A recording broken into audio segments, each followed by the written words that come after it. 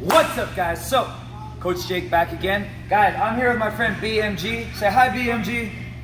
Guys, we're gonna be showing you what was going crazy on TikTok, the Dagestani secret. Guys, I've stolen this move from Khabib and used it in my jiu-jitsu and MMA, guys. This is so powerful and effective. And on top of that, guys, I'm gonna show you where I hit it from. Really, it's half guard passing at its finest.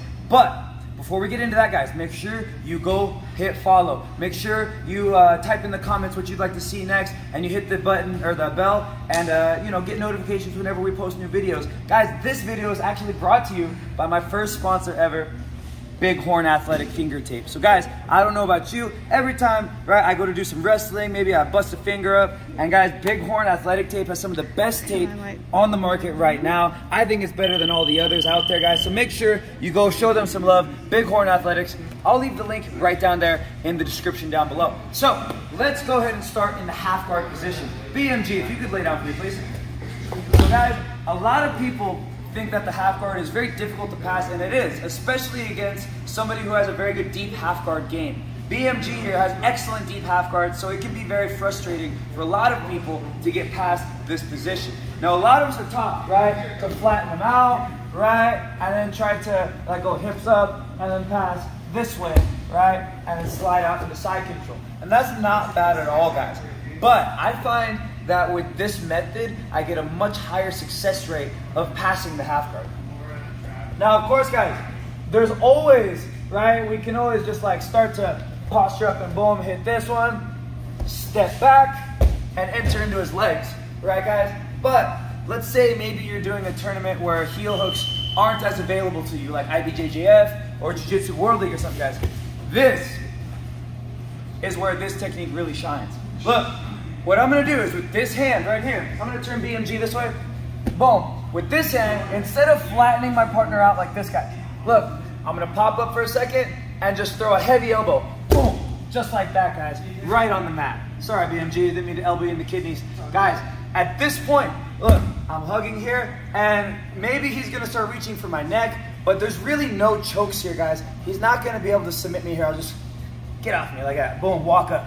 Like that, guys. Now, it's very important, once I'm here, guys, my leg is straight up and down. That way, if he does keep a tight lock on this half guard, all I'm gonna do is stiff arm, stiff arm, stiff arm, boom. And now we're here, guys. So, once I'm here, guys, it's much easier for me to start to pummel my foot and step back into reverse kesa gatame. I love this position, guys. I can go through his pockets, see if he's got a knife, a gun, take his lunch money, right? I could always drop an elbow from the back, guys. Reverse kesa is great. Maybe he's gonna tag me in the back of the head. Not really gonna hurt me that much. The knee in the face, that's what's gonna hurt. Boom, right there, guys. So watch out for that. Guys, the number one thing that happens to me in jiu-jitsu though, is they start to frame on my back and on my head just like this. Now this is where we're gonna use the Dagestani secret. What I stole from Khabib to really shut down any chance of his guard coming back into play. What I'm gonna do guys, look, I'm gonna slap this leg down just like this, step over, and guys right here, I lock a triangle. Once I've got this triangle, guys, there is no possibility of his legs coming out, right? Maybe he could uh, shrimp out as much as he'd like, but I'm just gonna lock it and start to smash, smash, smash my partner, just like this, guys, coming right up into the mount position. Now, once I'm in mount, right, we walk up his arms, high mount, armbar, just like we like to do. But, especially in MMA, guys, sometimes, right, I'll get stuck right here, right? If once I come up, right, I'll just posture on him. I start dropping some bombs, bing, until I slide into the mount position that I always wanted. Now, one more time, guys, check this out. We're here, I'm not flattening him, I'm going casing, right? My leg has to be up and down. What do we call this? Horizontal? Uh, vertical. vertical, thank you. Guys, my leg is vertical. Once I'm here, I'm stiff arming, stiff arming, boom, until I can pummel the leg. Now, I could come up into this quarter guard and just start to fight out, right? That's also acceptable.